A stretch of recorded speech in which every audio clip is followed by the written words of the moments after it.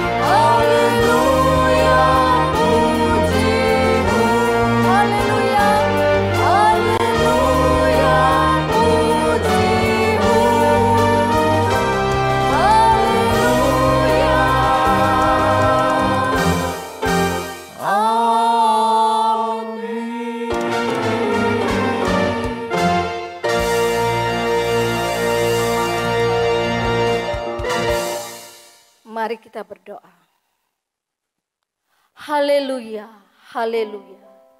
Terpujilah Engkau Tuhan. Engkau Tuhan yang sungguh besar, agung dan maha mulia. Umatmu memuji atas keajaiban besar yang telah Engkau nyatakan di dalam kehidupan kami.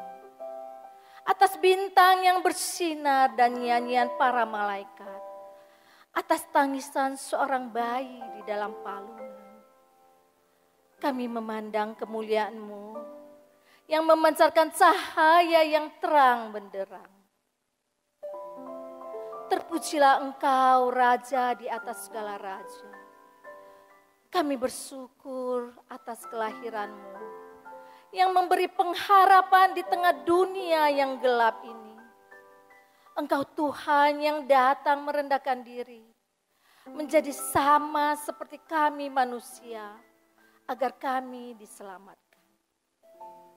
Kami semua umat pilihanmu membuka hati, menerima Engkau sebagai juru selamat hidup kami satu-satunya.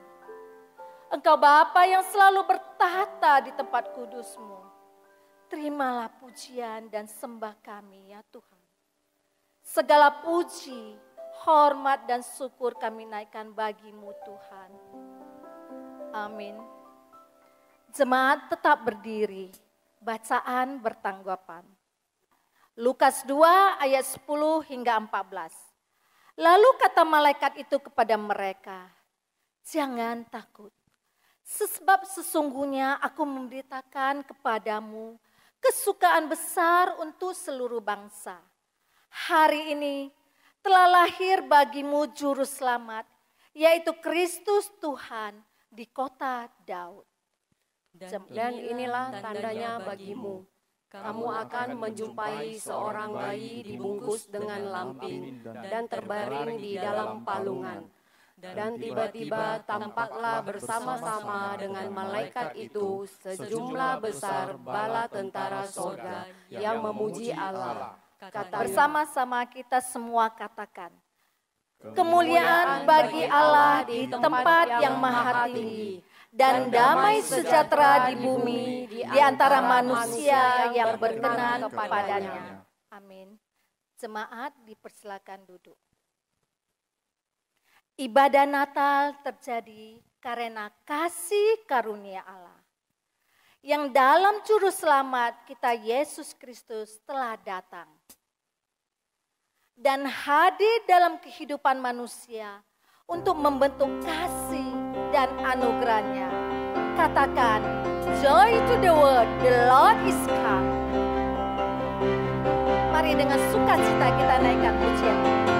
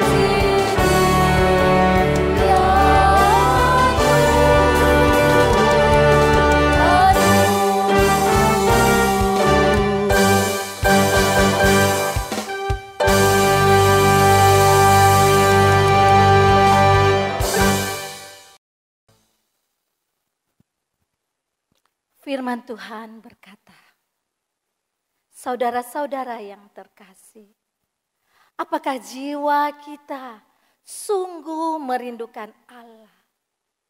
Haus dan rindukah kita akan firman Tuhan? Kami datang bersujud di hadapannya dan mau mengakui segala pelanggaran-pelanggaran yang tengah sengaja maupun tidak sengaja kami lakukan Bapa. Mari kita respon dengan lagu pujian ini.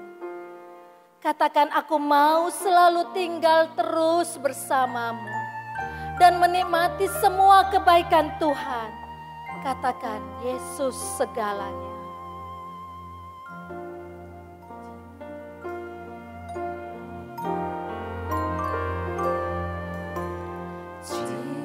Jiwaku sungguh merindukanmu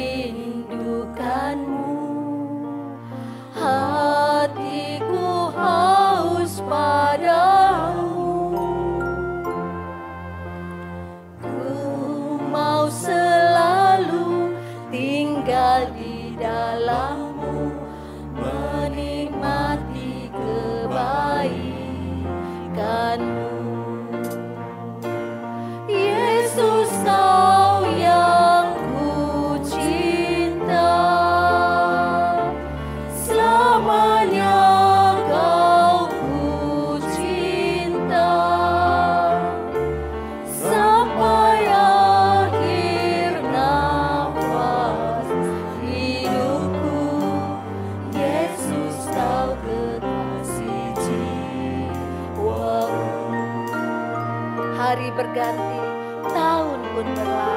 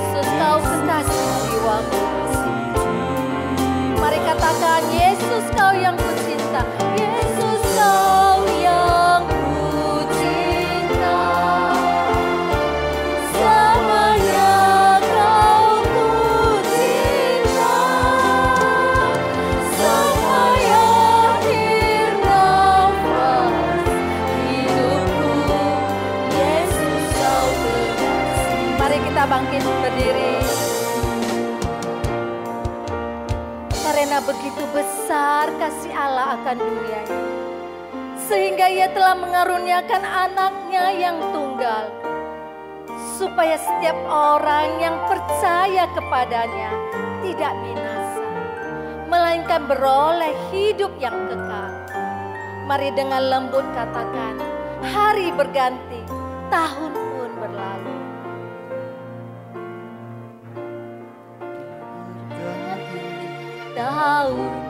berlalu sampai memutih rambutku. Melayanimu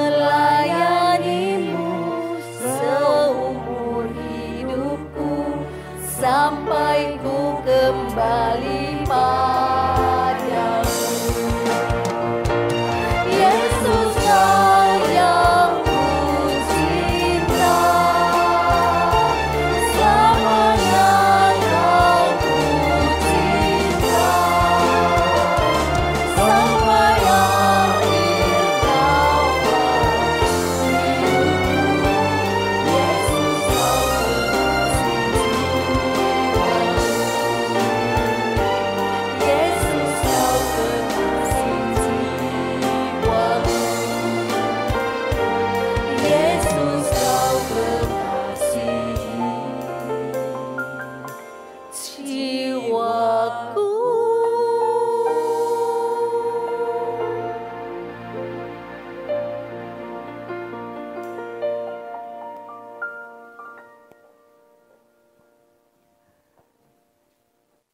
di hadapan Allah yang turun menghampiri setiap kita, umat manusia.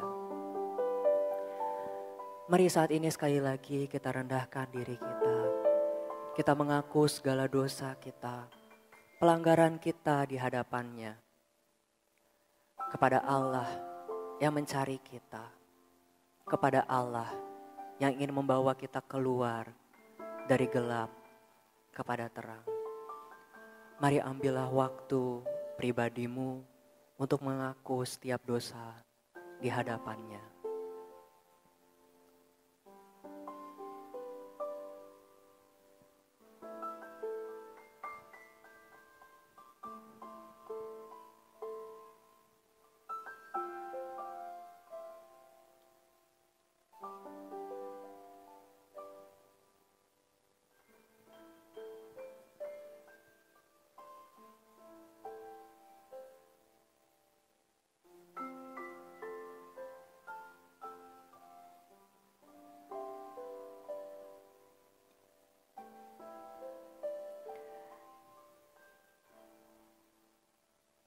Ya Allah kami, saat ini setiap kami tertunduk di hadapan-Mu, setiap kali kami mengingat begitu besar anugerah dan karyamu dalam hidup kami, sesungguhnya kami merasa begitu malu ketika kami kembali merenungkan betapa sering kami gagal untuk menyatakan kasih kami kepadamu. Namun kami sungguh bersyukur ya Tuhan, sebab kasih-Mu tidak pernah berubah. Sehingga kami boleh kembali datang, mengaku dosa kami, memohon kekuatan daripadamu. Dan kami boleh sekali lagi membangun kerinduan kami untuk mengasihi Engkau lebih dan lebih lagi. Terima kasih Tuhan untuk pengampunan yang Engkau beri. Hanya dalam nama anakmu Yesus Kristus, anakmu yang telah turun ke dunia bagi umat manusia, kami berdoa. Amin. Bapak Ibu jemaat sekalian, janji pengampunan dosa bagi setiap kita dari Yeremia 33 ayat yang ke-8. Aku akan mentahirkan mereka dari segala kesalahan yang mereka lakukan dengan berdosa terhadap aku dan aku akan mengampuni segala kesalahan yang mereka lakukan dengan berdosa dan dengan memberontak terhadap aku. Dan petunjuk hidup baru bagi setiap kita terambil dari Yohanes 14 ayat 6 yang berkata kepada setiap kita, kata Yesus kepadanya, Akulah jalan dan kebenaran dan hidup. Tidak ada seorang pun yang datang kepada Bapa kalau tidak melalui aku. Mari jemaat sekalian semua, bersama dengan gereja Tuhan sejak dahulu kala hingga sekarang ini. Mari semua jemaat kita di mana pun berada, kita ikrarkan iman kita dalam pengakuan iman rasuli. Aku percaya kepada Allah, Bapa yang Maha Kuasa, Kali langit dan bumi, dan kepada Yesus Kristus anaknya yang tunggal Tuhan kita, yang dikandung daripada roh kudus, lahir dari anak darah Maria, yang menderita sengsara di bawah pemerintahan Pontius Pilatus, disalibkan, mati, dan dikuburkan, turun ke dalam kerajaan maut. Pada hari yang ketiga, bangkit pula dari antara orang mati. Naik ke surga, duduk di sebelah kanan Allah, Bapa yang Maha Kuasa, dan dari sana ia akan datang untuk menghakimi orang yang hidup dan yang mati. Aku percaya kepada Roh Kudus, gereja yang kudus dan am, persekutuan orang kudus, pengampunan dosa, kebangkitan tubuh, dan hidup yang kekal. Amin. Jemaat kami persilakan duduk kembali. Perayaan Natal bukan saja bagi umat Kristiani, tapi bahkan lebih meriah kita ketahui bagi mereka yang non-Kristen. Sebagai anak-anaknya. Jangan jadikan Natal sebagai rutinitas perayaan saja. Tapi jadikan Natal sebagai kesempatan kita untuk menyadari betapa luar biasanya kasih Tuhan di sepanjang hidup kita. Katakan Natal di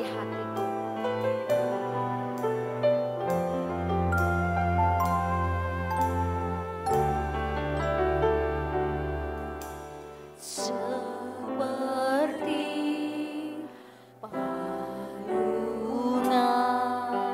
layakanlah hatiku menyambut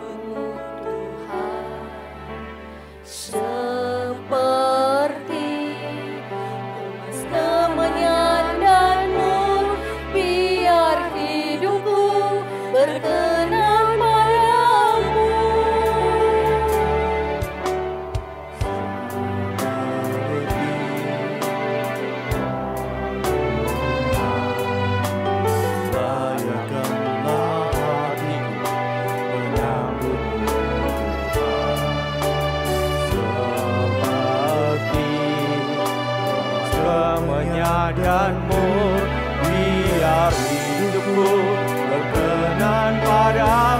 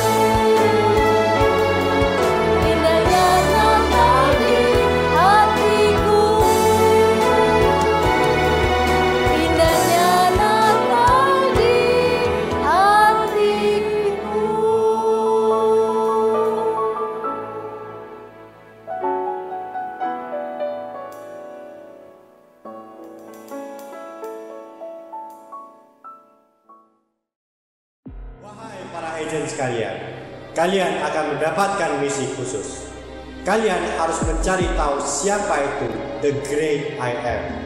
Kalian harus mendapatkan jawaban yang benar pada tanggal 24 Desember. Wahai para agent sekalian, kalian sudah tahu hari ini tanggal berapa? Tanggal 24 Desember. Mengapa kalian belum menyelesaikan tugas yang saya berikan dengan baik? Maafkan kami, bos.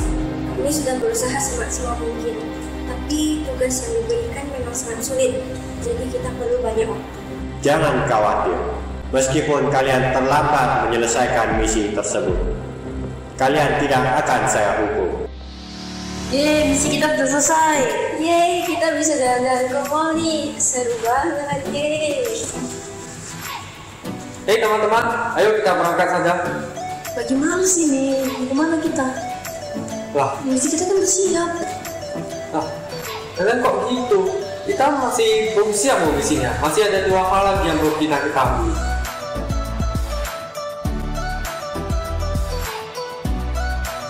Aduh, sudahlah kok Marco, gak usah tipu-tipu lagi. Kan kemarin bos sudah bilang kalau dia tidak akan membunuh kita. Jadi ya kita santai-santai aja, gak perlu capek-capek lagi. Aku kecewa loh sama kelakuan kalian. Justru bos tidak menghukum kita. Kita sudah harus tahu kebaikan dari bos loh. Nah, itu juga salah satu berkat yang diberikan Tuhan kepada kita.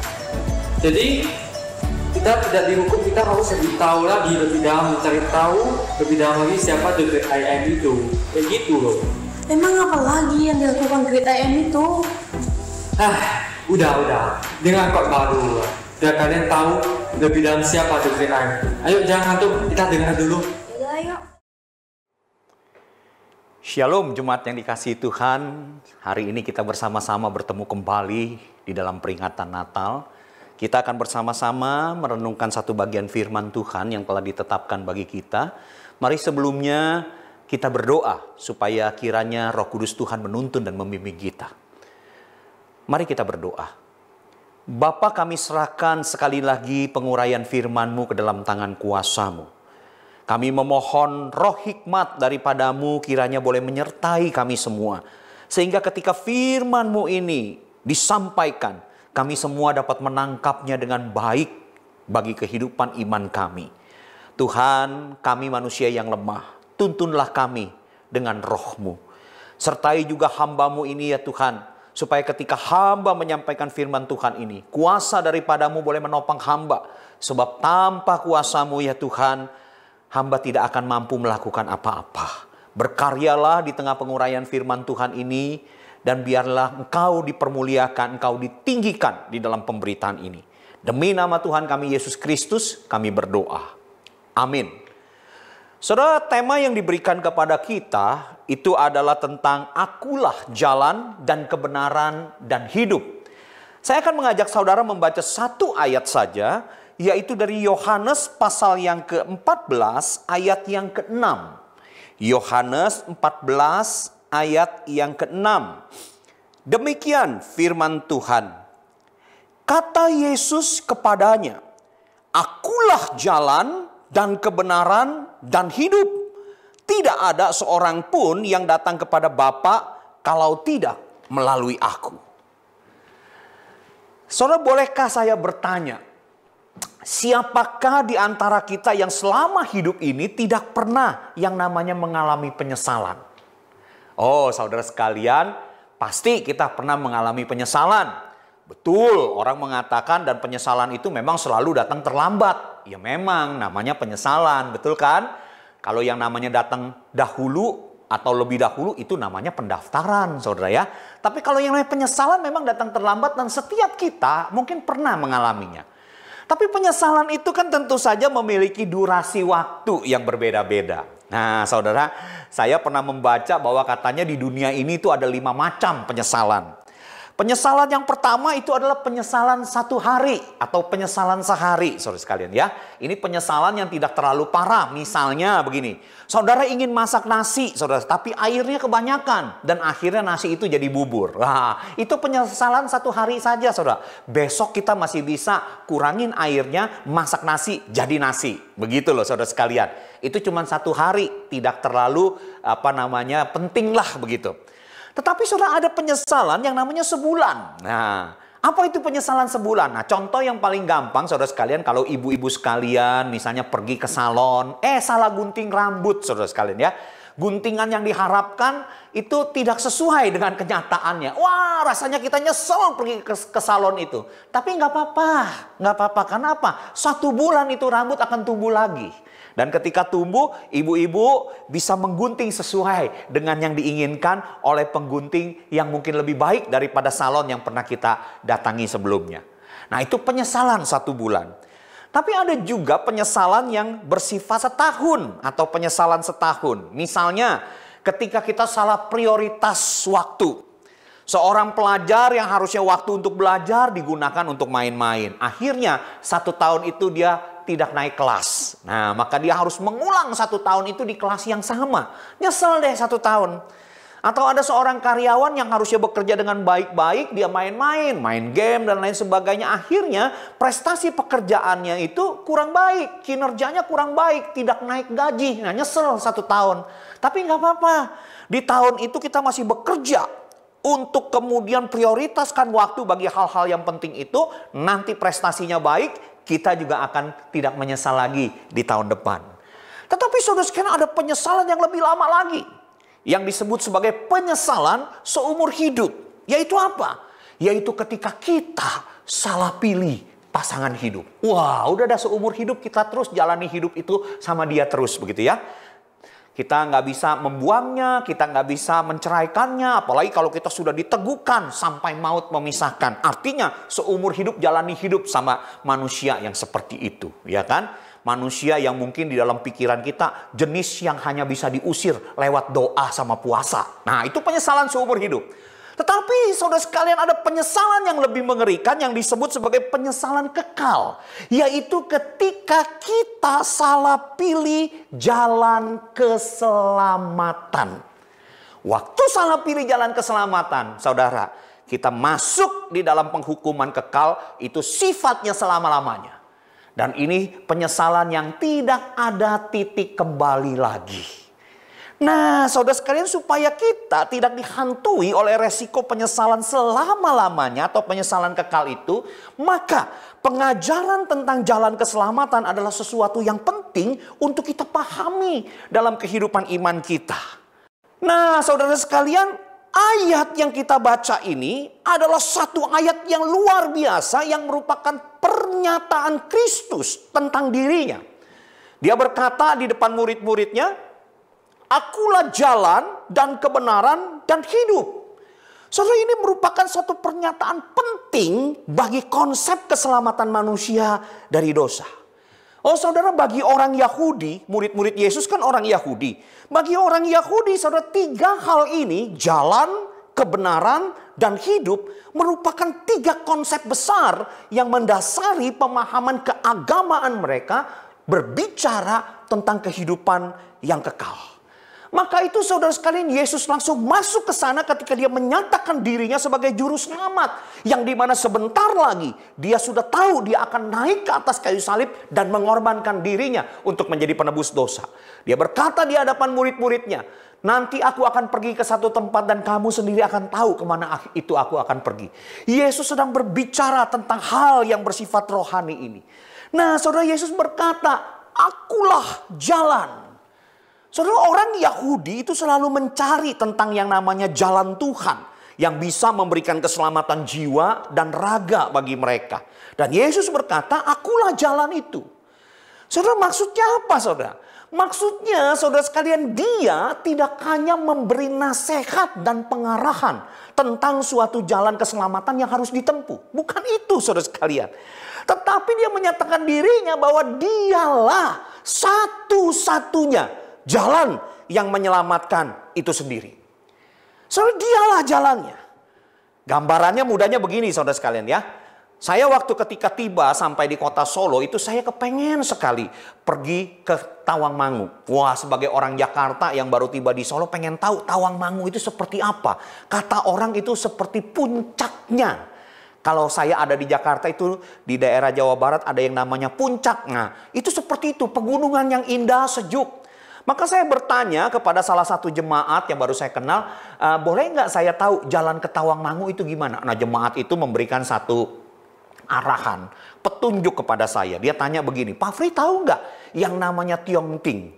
Tiong Ting itu rumah duka, begitu ya? Oh, yang namanya rumah duka mah itu tempat pekerjaannya pendeta bekerja, rumah sakit, rumah duka sama rumah ibadah. Maka itu saudara sekalian, ketika saya dikatakan tempat itu, saya langsung berkata, oh ya tahu. Nah sudah Pak Fri, dari tempat itu pokoknya Pak Fri ambil jalan lurus saja. Pasti nanti sampai, sampai Tawang Mangu. Oh saudara saya ikuti petunjuk itu saudara sekalian. Saya ini orang Jakarta saudara. Sesudah saya melewati rumah duka itu saudara sekalian. Saya ada di dalam sebuah persimpangan. Satu ada jalan lurus ke depan. Satu ada jalan nikung ke kanan. Nah ini yang membuat saya bingung. Nah sebagai orang Jakarta. Saya ketika dikatakan pokoknya lurus. Ya saya hajar aja ambil jalan lurus saudara sekalian. Padahal yang dimaksud oleh orang yang memberitahu saya yang disebut lurus itu adalah ikuti jalan utama. Nah saya salah tangkap saudara. Saya lurus terus. Betul saudara sekalian. Tersesatlah saya. Dan ketika saya berhenti saudara, bukan yang namanya Tawang Mangu yang saya temui, tapi begitu saya lihat ke sebelah kanan saya, rumah sakit jiwa Surakarta. Oh saya tersesat saudara sekalian. Nah beda dengan satu jemaat saya. Yang satu kali ketika saya tanya, eh saya pengen tahu namanya Tawang Mangu. Nah dia punya villa di Tawang Mangu. Maka dia berkata kepada saya, ah sudah nggak usah pusing Pak Fri ya. Besok saya jemput Pak Fri di rumah, naik mobil saya sama-sama saya. Saya akan ajak Pak Fri untuk ke Tawang Mangu. Oh saudara saya nggak tersesat. Karena saya dibawa oleh dia. Nah dan kemudian naik mobil dia, dia yang mengemudikan, dia yang menjadi penunjuk jalannya, dia yang membawa saya di jalan itu. Jadi seakan-akan saudara dialah menjadi jalan bagi saya. Yang tidak mungkin membawa saya tersesat. Nah itulah yang seperti Yesus sampaikan dan Yesus lakukan. Jadi ketika dia berkata akulah jalan, maka sebenarnya dia ingin menegaskan ketika seseorang berada di dalam dirinya, di dalam Kristus, maka sesungguhnya dia sedang berjalan di jalan keselamatan yang Tuhan sediakan. Itu maksudnya ketika Tuhan Yesus berkata, akulah jalan. Dan yang kedua Yesus juga berkata, aku bukan hanya sekedar jalan yang menyelamatkan itu, tapi aku adalah kebenaran. Makanya dia berkata, akulah kebenaran. Saudara berbicara tentang kebenaran, maka bagi orang-orang Yahudi, saudara itu adalah sebuah konsep yang penting juga. Karena kitab-kitab yang ada di dalam diri mereka, yang di mana banyak pernyataan para nabi-nabi ini, saudara itu banyak menceritakan dan mengajarkan tentang yang namanya kebenaran. Tetapi saudara sekalian, semua pengajar-pengajar itu tidak pernah ada satu orang pun yang berani berkata seperti Yesus yang mengatakan, akulah kebenaran. Oh saudara sekalian, kata kebenaran yang dipakai di sini itu adalah aliteia yang di dalam Yohanes 14 ayat 6 yang kita baca ini. Oh itu adalah satu kata yang sangat spesifik. Yang artinya itu lebih mengarah kepada kebenaran yang hakiki. Sesuatu yang sungguh-sungguh benar secara status, secara prinsip, dan secara moral. Dan Yesus berkata, akulah kebenaran. Jadi saudara sekalian di dalam hal ini Yesus bukan hanya menyatakan dirinya sebagai orang yang mengajarkan kebenaran. Tetapi dialah satu-satunya sumber dan penentu dari kebenaran itu sendiri. Jadi ketika seseorang itu berada di dalam dia, di dalam Kristus, maka ia akan dilingkupi oleh kebenaran yang membenarkannya dan juga yang menuntunnya untuk menyusuri jalan yang benar itu. Nah saudara itulah Kristus, makanya dia berkata akulah sang kebenaran itu. Dan kemudian dia juga berkata, akulah hidup.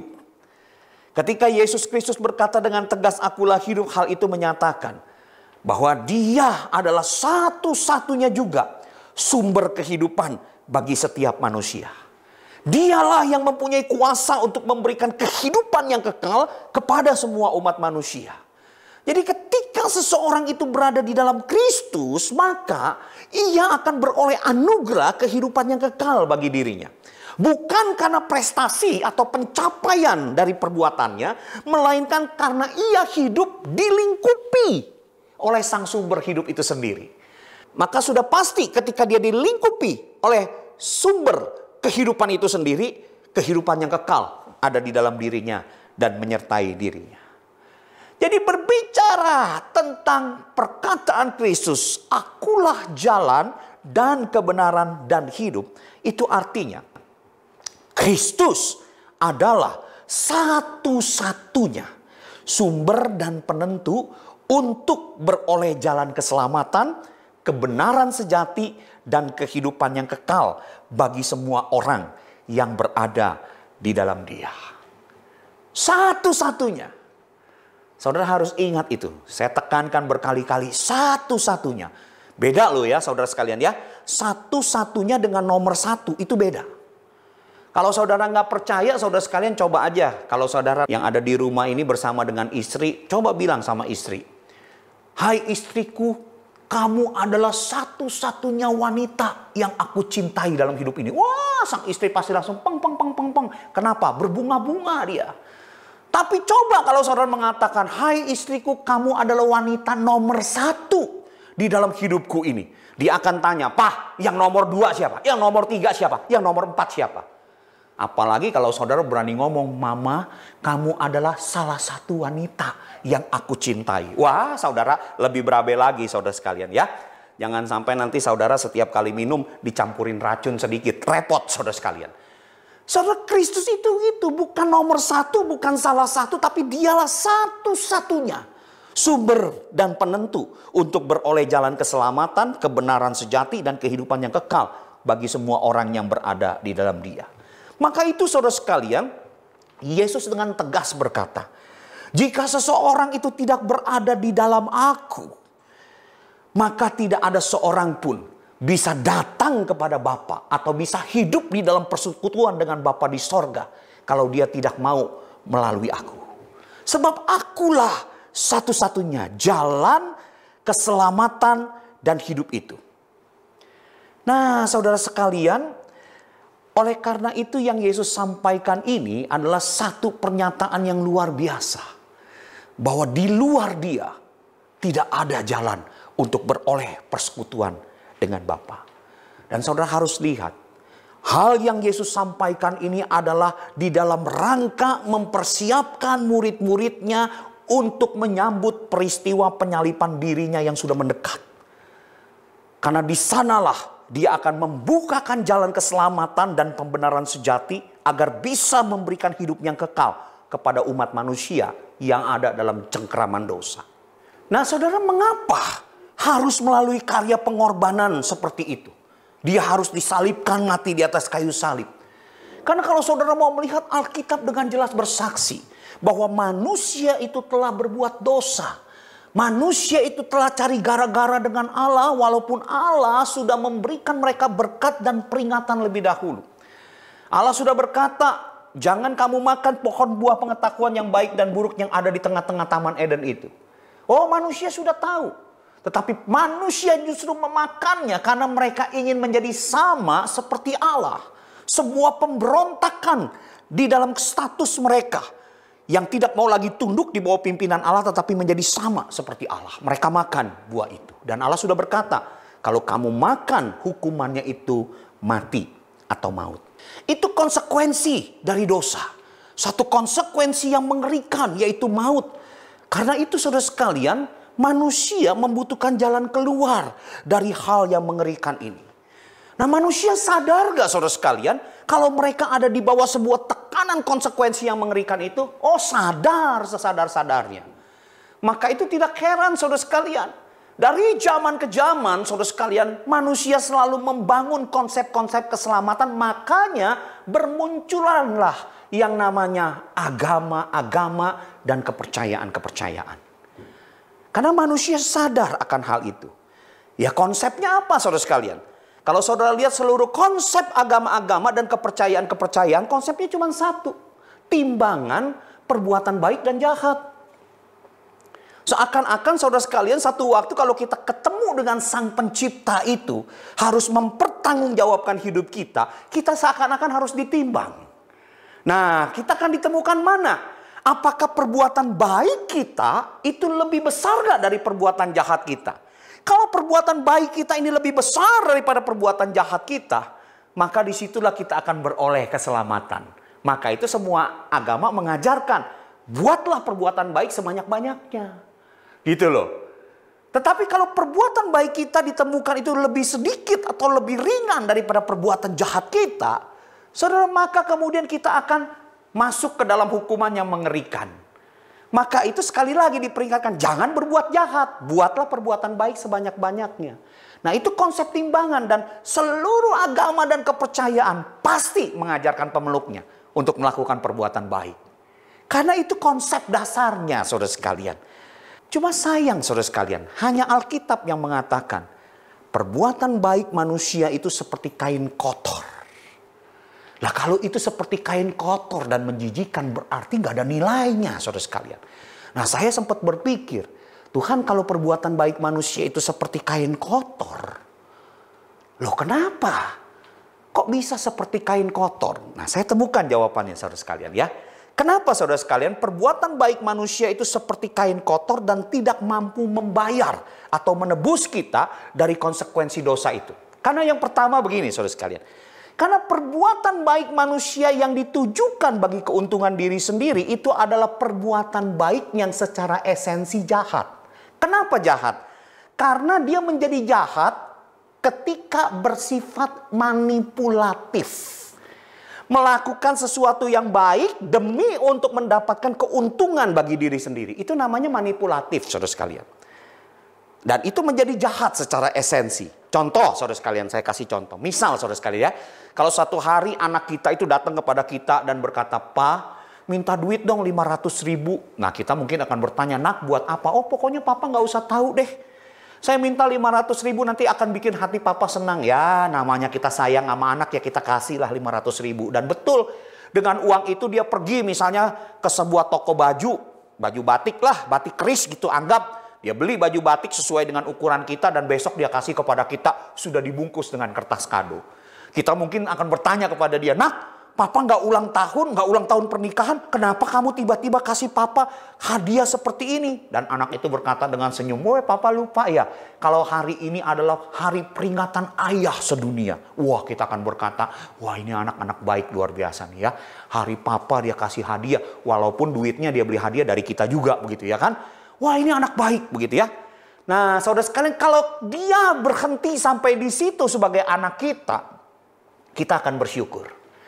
Tapi saudara ketika dia melihat kita tersenyum terima hadiah itu dan dia berkata, Pak, terima hadiah papa seneng nggak? Senang. Senang banget anakku. Nah kalau papa senang, kemudian dia mulai keluarkan sesuatu dari kantongnya yaitu handphonenya. Handphone Samsung yang udah zaman dulu begitu. Dan dia berkata, Pak, kalau papa sedang terima hadiah saya, sekarang tolong dong tuker handphone Samsung ini dengan iPhone 12 yang akan segera rilis itu. Saudara kita kalau ketemu anak seperti ini, saudara sekalian kasih kita hadiah dari uang kita untuk memanipulasi kita supaya menggantikan handphonenya. Kita mungkin dalam hati akan berkata begini, anakku sayang, coba sini mukamu deketan biar papa cakar sekalian. Kenapa saudara sekalian? Karena dia mendekati kita bukan dengan kasih yang murni, bukan dengan penghormatan yang murni, bukan dengan rasa syukur yang murni. Dia mendekati kita dengan semua prinsip yang namanya prinsip ekonomi. Dengan modal sekecil-kecilnya, dia bisa dapat untung sebesar-besarnya. Nah ini kan manipulatif saudara sekalian. Secara tindakan, tindakannya baik. Tapi secara esensi itu menjadi jahat. Karena dia ingin memanipulasi kita untuk mendapatkan keuntungan yang lebih besar dari kita. Nah sama saudara sekalian. Ketika kita melakukan perbuatan baik dan kita berkata, Tuhan lihat ya perbuatan baik saya. Nah, sekarang tukar dong perbuatan baik saya dengan sorga yang mulia untuk hidup di sana selama-lamanya menikmati engkau dan segala kemuliaan. Saudara kalau jadi malaikat yang mengiring Tuhan di sorga, saya mungkin akan berkata kepada orang-orang seperti ini. Nah, mukamu jauh, coba sini deketan biar saya kepret sama sayap malaikat. Saudara maka itu saudara sekalian perbuatan baik manusia nggak bisa membayar dosa karena ketika dilakukan dengan sifat manipulatif secara esensi menjadi jahat. Makanya Alkitab katakan seperti kain kotor. Yang kedua saudara sekalian perbuatan baik manusia juga tidak bisa dinilai sebagai jasa. Karena memang sudah seharusnya. Nggak bisa saudara sekalian. Jadi kalau sesuatu yang memang sudah seharusnya nggak bisa itu dinilai sebagai jasa. Contoh deh begini saudara sekalian ya. Kita punya seorang istri yang kita cintai. Ya kita tentu berbagi hidup banyak dengan dia. Kita berbagi sesuatu, berbagi keuntungan kita, kesenangan kita, suka duka lah pokoknya kita bagi bersama-sama dengan dia. Bayangkan saja saudara sekalian, andai katalah kita pacaran dengan istri kita itu lima tahun, menikah 15 tahun. Oh 20 tahun saudara sekalian kita berbagi hidup bersama dengan dia. Banyak yang kita berikan, banyak yang kita korbankan untuk dia. Begitu juga dengan dia tentu ya. Sebagai wanita tentu banyak yang ia berikan, kadang banyak yang ia korbankan. Harusnya dia bisa berkarir, dia tinggalkan karirnya. Dia buang sebuah pendidikan yang pernah dicapai demi untuk mengurus anak-anak kita. Oh banyak yang dikorbankan. Kita saling berbagi sesuatu, saling memberi segala sesuatu. Hal-hal seperti itu, saudara sekalian, tentu saja saudara sekalian nggak bisa dinilai sebagai jasa. Karena memang itu sudah sebagai sebuah keharusan. Bagi suami istri yang sudah mengikat janji di hadapan Tuhan menjadi satu tubuh di hadapan Tuhan. Nggak bisa saudara sekalian. Maka itu saudara sekalian kalau satu kali bisa seorang suami itu pergi keluar kota dan dia jatuh cinta kepada wanita lain, jatuh di dalam perselingkuhan gitu ya kan dan kemudian yang namanya pemula baru selingkuh saudara atau juga seandainya lama-lama selingkuh juga pasti ketahuan. Nah saudara sekalian si istri itu pulang misalnya marah-marah kepada si suaminya. Bahkan mungkin menangis dan berkata pulangkan aku kepada orang tuaku. Karena kamu sudah mengkhianati cinta suciku. Nah saudara boleh nggak seorang pria itu akan kemudian berkata atau suami ini berkata kepada istrinya. Eh istriku Jangan pernah lupa dong. Ingat gak waktu itu aku pernah beliin kamu rumah. Beliin kamu yang namanya uh, mobil sedan yang bagus. Saya pernah berikan baju yang indah. Ajak kamu pergi ke Eropa berapa kali. Hitung dong ingat. Begitu banyak jasa yang sudah saya berikan kepada kamu. Nah sekarang tolong dong ditimbang. Masa cuma selingkuh sekali doang kamu marahnya sampai seperti itu? Nah Saudara sekalian coba saudara yang ada di rumah. Kalau saudara ada di dalam posisi seperti itu, tanya sama istri. Boleh nggak kita ngomong seperti itu? Ingat dong jasaku, ditimbang. Masa cuma selingkuh sekali aja kamu begitu marahnya? Nah saudara sekalian pasti kalau istri yang normal akan mengatakan ya nggak bisa. Karena aku juga banyak mengorbankan segala sesuatu kepada kamu. Bersyukur kalau saudara punya istri yang galak. Istri yang galak mungkin akan berkata, oh papa mau begitu boleh pak boleh saya gebukin sama pukulan baseball. Maksudnya begitu saudara sekalian. Nah saudara nggak bisa saudara sekalian. Karena apa? Perbuatan baik kita sebagai suami istri itu memang sudah seharusnya. Sama saudara sekalian. Ketika kita mau berkata kepada Tuhan begini. Tuhan timbang nih perbuatan baik saya. Tuhan bilang begini apa yang mau ditimbang nah. Kalau engkau berbuat baik itu memang sudah seharusnya.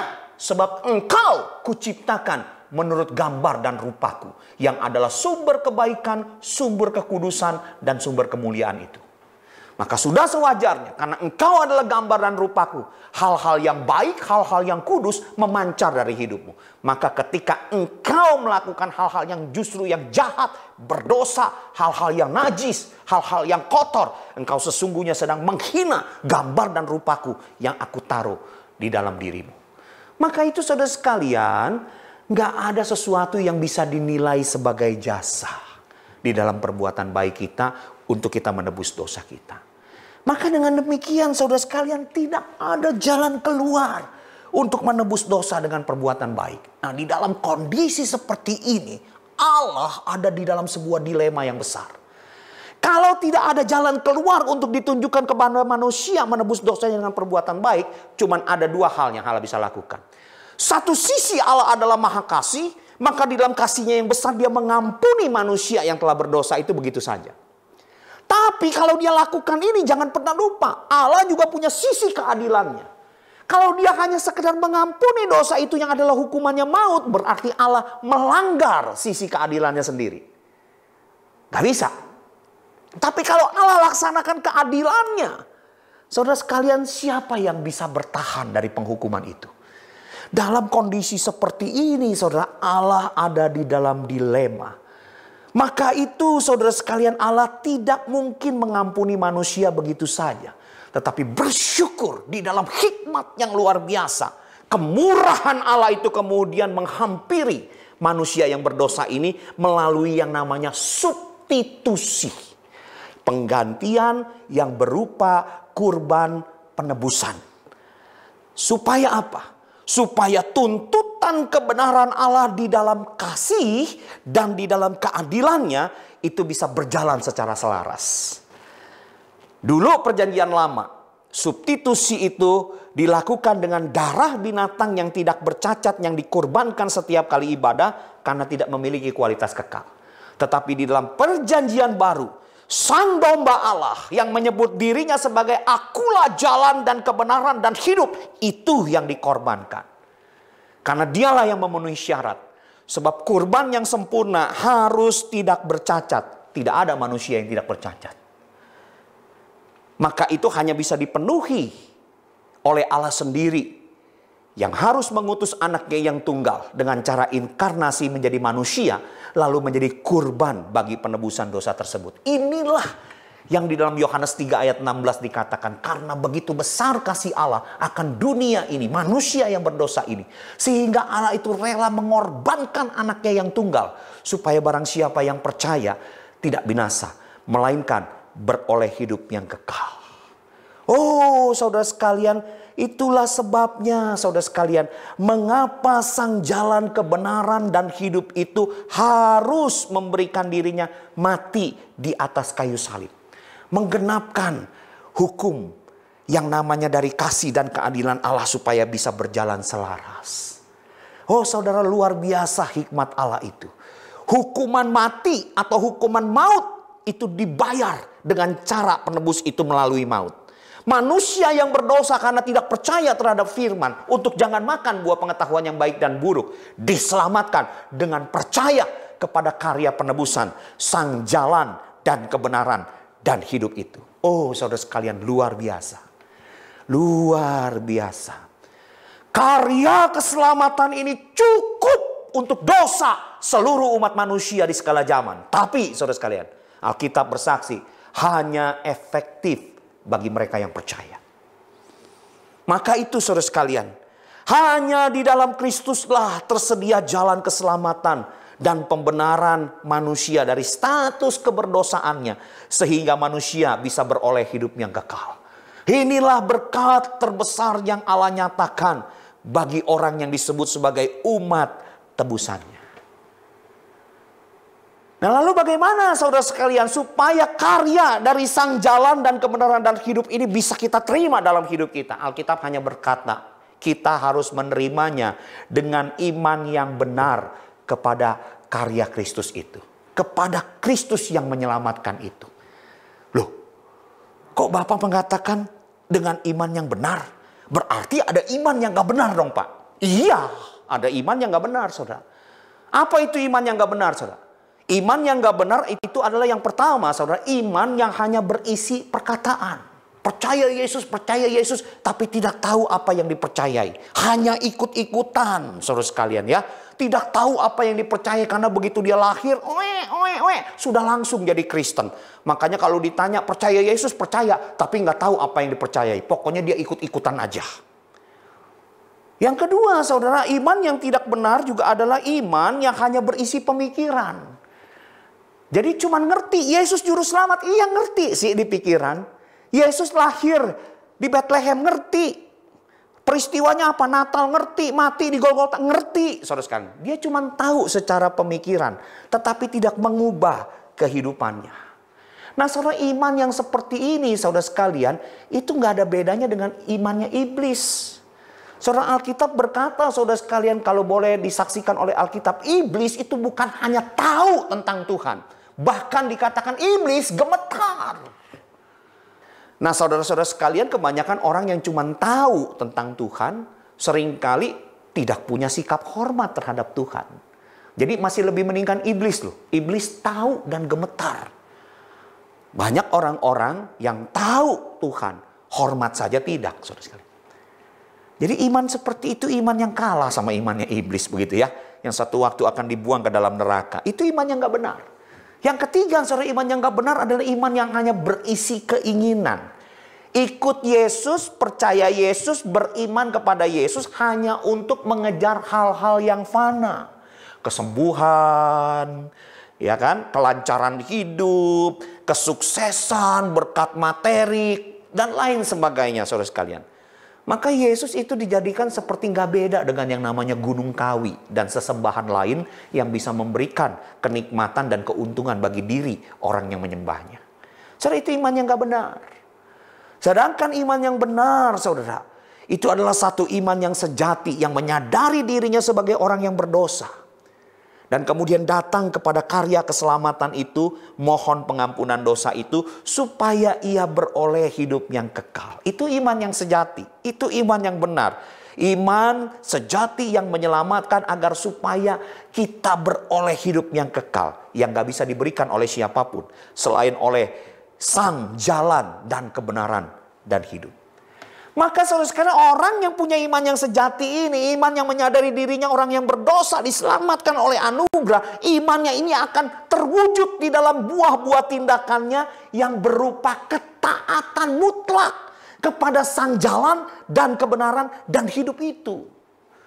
Dia akan punya wujud, punya buah, imannya itu buahnya terwujud di dalam ketaatan. Nah di dalam ketaatan ini saudara sekalian maka di dalam hidupnya orang yang punya iman yang sejati ini apa yang disenangi Allah itu akan menjadi sesuatu yang dia kejar dalam hidup sekalipun terasa menyakitkan. Dan apa yang menyakitkan Allah menjadi sesuatu yang dia tinggalkan sekalipun terasa menyenangkan. Saudara itu iman yang sejati. Yang menyelamatkan ketika dia percaya kepada sang jalan dan kebenaran dan hidup itu yang kemudian sang jalan dan kebenaran dan hidup itu mengubah dirinya sehingga ia memberikan dirinya dengan ketaatan mutlak untuk mengikuti sang penebus itu.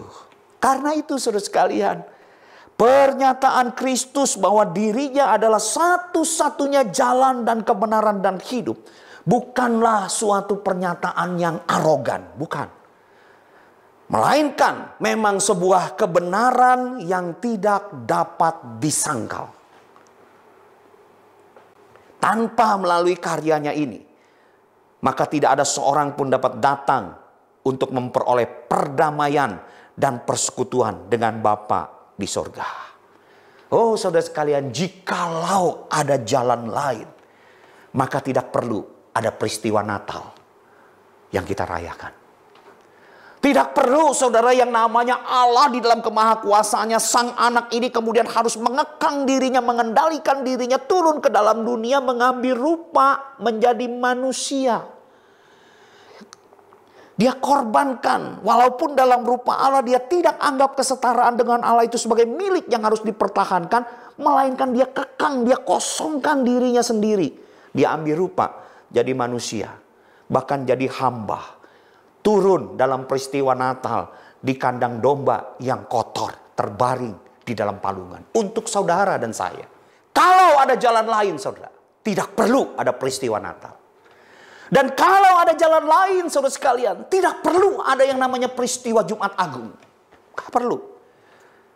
Gak perlu Allah yang sudah merendahkan diri menjadi manusia itu akhirnya dia harus menjalani ketaatannya sampai mati di atas kayu salib tercabik-cabik, dipantek di sana demi penebusan saudara dan saya. Menjadi kurban pengganti bagi orang-orang berdosa, yaitu saudara dan saya. Nggak perlu Jumat Agung kalau ada cara lain.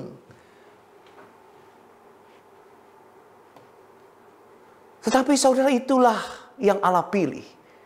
Untuk menyelamatkan saudara, jalan itu harus ditempuh dan sang jalan dan kebenaran dan hidup itu memberikan dirinya untuk membukakan jalan perdamaian dengan Allah. Untuk membukakan satu pembenaran diri bagi kita orang-orang yang berdosa. Dan kemudian untuk memberikan hidup, hidup yang kekal kepada orang-orang yang percaya di dalam namanya. Saudara hari ini entah Sudah ibadah Natal yang keberapa kali yang kita hadiri dan kita ikuti. Tetapi satu hal yang penting saudara yang paling utama ketika kita merayakan Natal yang harus kita tanyakan. Sudahkah kita memiliki iman yang benar di dalam Kristus? Sang jalan dan kebenaran dan hidup itu yang sudah menyelamatkan manusia berdosa supaya bisa beroleh hidup yang kekal.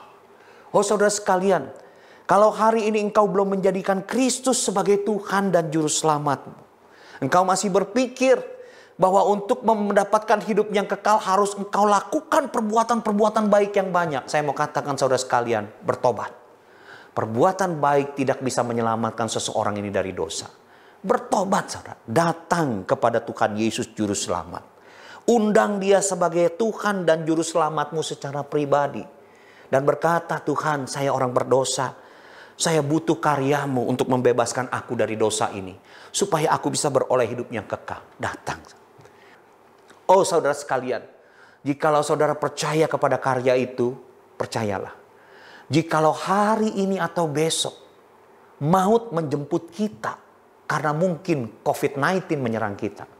Saudara hidup kekal ada di dalam tanganmu.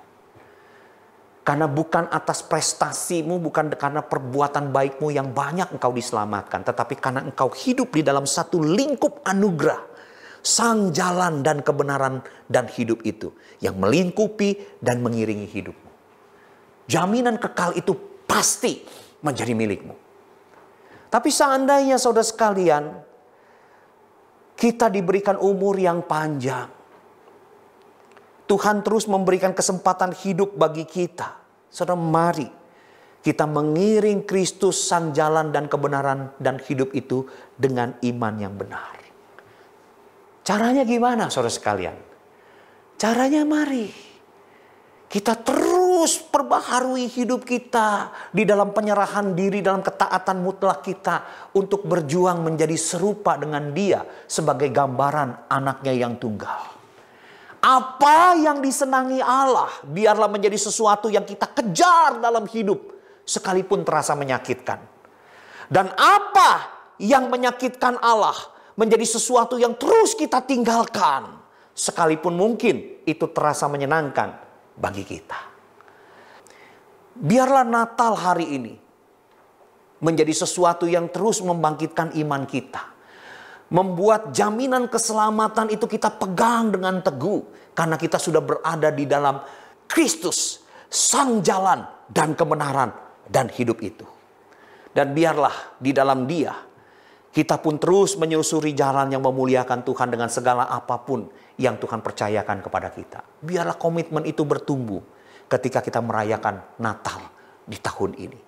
Tuhan memberkati selamat hari Natal. Mari kita berdoa. Tuhan terima kasih untuk firman-Mu yang telah kami renungkan. Biarlah kiranya firman Tuhan ini sekali lagi meneguhkan kami. Membangunkan rasa syukur kami. Bahwa di dalam engkau kami telah beroleh yang namanya jalan dan kebenaran dan hidup. Ya Tuhan terima kasih itu bukan karena pencapaian pribadi kami dengan perbuatan baik kami. Tetapi karena karyamu yang engkau infuskan. Engkau tanamkan ke dalam diri kami karena kami menerima karya penebusan itu di dalam iman yang benar. Tuhan tolong, biarlah ke depan ini kalau Tuhan masih memberikan umur yang panjang. Tuhan terus tuntun kami supaya kami bisa menapaki jalan ketaatan di dalam iman kami. Hari demi hari ya Tuhan, kami sering dan terus membangun hal-hal yang menyenangkan hati Tuhan di dalam tapak kehidupan kami. Dan kami meninggalkan hal-hal yang menyakiti hati Tuhan, sekalipun mungkin itu menyenangkan bagi kami. Tuhan tolong kami yang lemah ini, tuntunlah kami yang penuh dengan keraguan-raguan dan kebodohan ini. Demi nama Tuhan kami Yesus Kristus, kami berdoa, kami mengucap syukur. Amin. Terima kasih kepada pendeta Fris Suhandi yang telah menyampaikan firman Tuhan.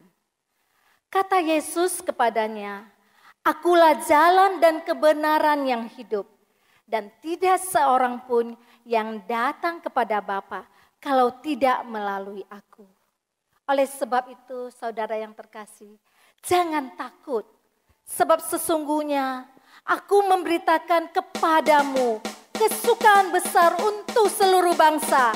Hari ini telah lahir bagimu juru selamat, yaitu Yesus Kristus Tuhan di kota Daud.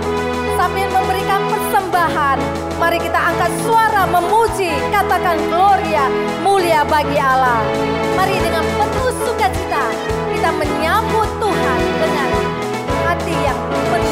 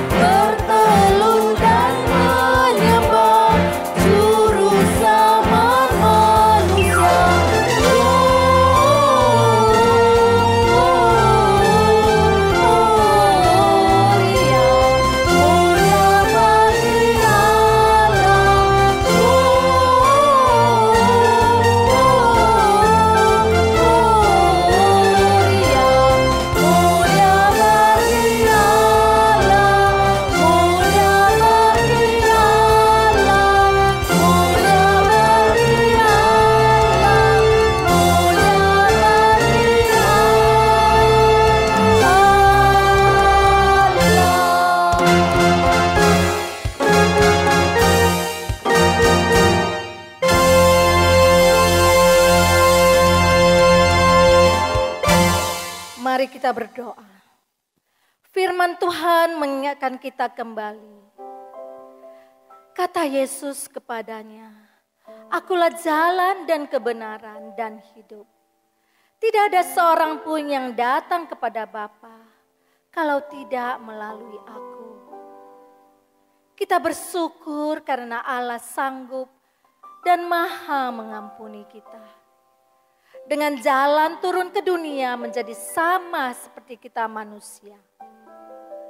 Dan Yesuslah anugerah paling terindah yang kita miliki saat ini. Dia lahir ke dunia di kandang yang hina. Bukti betapa dia adalah pribadi yang begitu rendah hati. Maka jadikanlah Natal saat ini menjadi momen yang sangat berarti dan punya nilai yang sungguh besar dan berharga. Di mana Tuhan benar-benar lahir di hati setiap kita umat yang dikasihinya. Dan kami umatmu Tuhan, saat ini belajar untuk memberikan persembahan dan memperoleh ini semua adalah dari anugerahmu ya Bapa. Kiranya setiap persembahan anak-anakmu dapat dipakai untuk pelayanan di bumi ini. Engkau berkati setiap tangan-tangan yang telah memberi persembahan. Dalam nama Tuhan Yesus, kami berdoa dan berserah. Amin. Jemaat kami persilakan duduk kembali. Selamat Hari Natal, Bapak, Ibu, Saudara-saudari yang dikasih Kristus, di mana kita saat ini boleh merasakan sukacita Natal. Saudara, di masa-masa pandemi yang telah berlangsung sekian lama ini, ada perasaan kekhawatiran, ketakutan, dan begitu terasa dunia yang gelap ini tetapi kita sudah mendengar berita dari malaikat yang berkata, hari ini telah lahir bagimu juru selamat, Yesus Kristus. Kiranya sukacita bahwa Kristus sang juru selamat telah datang menjadi sebuah sukacita bagi saudara-saudari sekalian. Berkat anugerah penyertaan Tuhan akan menyertai kita sekalian. Mari kita akan bersama bangkit berdiri kita akan masuk di dalam doksologi dan kita akan menerima doa berkat.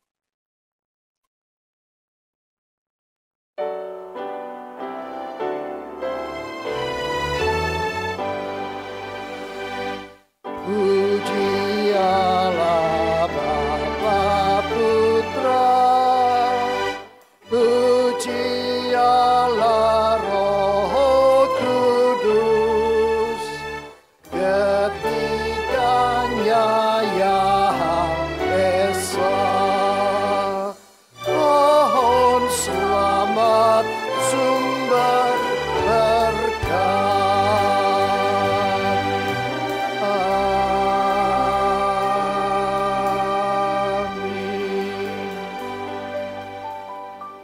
Jemaat, marilah kita mengarahkan hati dan pikiran kita menerima berkat Tuhan. Kiranya anugerah Allah Bapa memberkati engkau dan melindungi engkau. Kiranya anugerah Kristus Yesus menyinari engkau dengan wajahnya dan memberi engkau kasih karunia. Kiranya anugerah Roh Kudus yang menghadapkan wajahnya kepadamu dan memberi engkau damai sejahtera akan menyertai engkau sekalian mulai dari saat ini sampai selama-lamanya. Amin. Amin.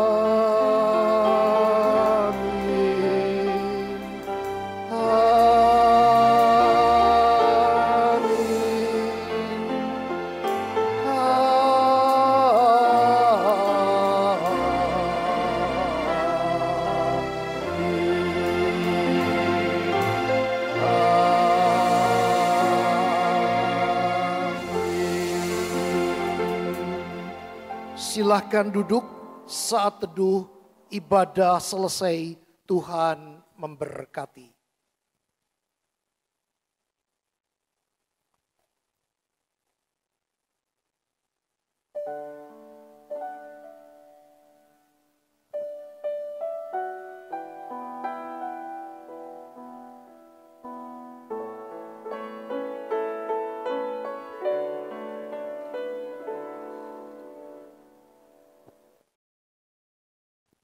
Kami segenap hamba Tuhan, majelis dan aktivis Gereja Kristus Yesus Medan mengucapkan selamat Natal kepada semua jemaat GKY Medan. Mari kita naikkan lagu pujian. Selamat Hari Natal. We wish you Merry Christmas.